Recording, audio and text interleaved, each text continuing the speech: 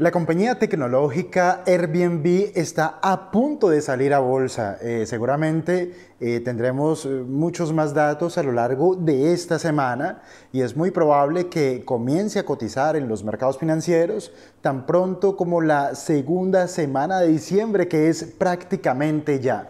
Vamos a comentar esto y por favor quédate hasta el final porque vamos a analizar un poco qué es lo que ha hecho Airbnb para capotear un poco mejor eh, toda la crisis económica provocada por el coronavirus y a partir de allí eh, cuál podría ser su verdadero potencial, si es que eh, se podría convertir en una oportunidad de inversión. Comenzamos.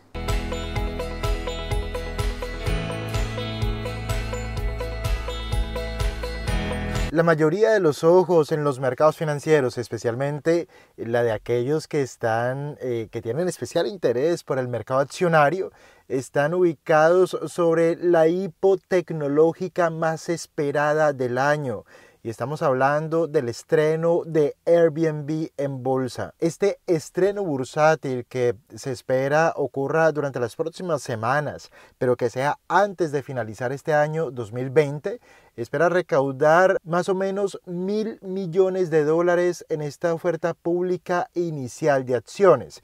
En una, en una nota publicada el viernes, el analista de la firma MKM Partners, el analista Rohit Kulkarni, cree que la empresa con sede en San Francisco podría dar comienzo a su programa de emisión de acciones en bolsa tan pronto como la semana después de Acción de Gracias y que posiblemente podría comenzar a negociar sus acciones como empresa pública en la segunda semana de diciembre. El analista Rohit Kulkarni eh, tiene información interesante que viene desde el interior de esta empresa y que indica que tras un reciente rebote en el negocio para Airbnb, que fue acompañado de un importante recorte en sus costos de operación y cree que este es el mejor momento para su salida a bolsa, sobre todo ahora que los mercados están completamente recuperados. Por su parte, Airbnb ha informado acerca de ingresos de más o menos 1.340 millones de dólares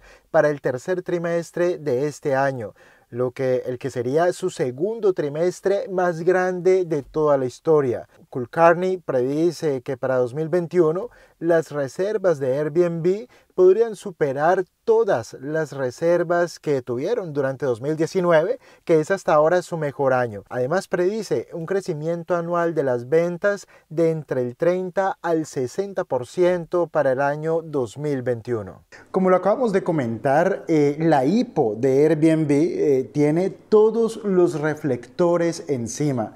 Es una de las salidas a bolsa más esperadas. Es una compañía que ha logrado construir un gran negocio y lo ha logrado construir eh, sobre todo porque se ha sabido posicionar en la mente de los consumidores o se ha sabido ganar las preferencias de los consumidores. Lógicamente, todo lo que ha ocurrido con el coronavirus, con la pandemia y con el confinamiento de las personas en sus domicilios, eh, eh, todo lo que esto ha afectado a los viajes, al ocio, a todo lo que tiene que ver con los alquileres recreativos, etcétera, ha golpeado fuertemente a las compañías que operan en estos sectores y Airbnb no ha sido la excepción. De hecho, eh, si no hubiese ocurrido esto del coronavirus, seguramente la IPO de esta compañía habría ocurrido a principios de este año y no al final de este año. Hay algo que comentar y ya lo dijimos en el video, pero que es interesante de resaltar, y es que Airbnb ha sabido pivotar muy bien desde mi punto de vista su estrategia con el fin de enfrentar un poco mejor todos estos eh, coletazos negativos eh, provocados por, por la pandemia y por el coronavirus. Y creo que el cambio más interesante de estrategia es un cambio en su algoritmo. Al principio, antes del coronavirus, el algoritmo de Airbnb eh, preferentemente nos mostraba hospedajes en los centros de las principales ciudades. Pero claro, llega el coronavirus, llega el confinamiento y llegan los cierres de la economía que todos conocemos y eh, quién va a querer ir a ciudades congestionadas y mucho menos quién va a querer alojarse en el centro de estas ciudades. Cuando ellos entendieron estos cambios en las preferencias eh, provocados por la coyuntura, estos cambios en las preferencias de los consumidores, ellos lo que hicieron es, en lugar de mostrarte su algoritmo, que es un buscador, en lugar de mostrarte de manera preferente hospedajes o alojamientos en los centros de las principales ciudades, los cambios que comenzaron a realizar en su algoritmo incluían que preferentemente te mostraran hospedajes o alojamientos en pueblos cercanos a tu ciudad. Lógicamente, los pueblos tienen la característica de que allí no vive muchísima gente y eh, estamos hablando de hospedajes rurales, de casas privadas, de casas con piscina, etc. Y todo el mundo se quiere alejar de los hoteles, se quiere alejar de las ciudades y se quiere alejar del centro de las grandes ciudades. Este cambio en el algoritmo, ¿qué es lo que ha provocado? Una fuerte recuperación en la facturación para Airbnb. Es decir, ellos en esta pandemia, en esta crisis que ha sido gravísima, han sabido mostrar, primero, que están abiertos al cambio, a cambiar la estrategia y realmente lo hicieron muy rápido y esto muestra una fuerte resiliencia.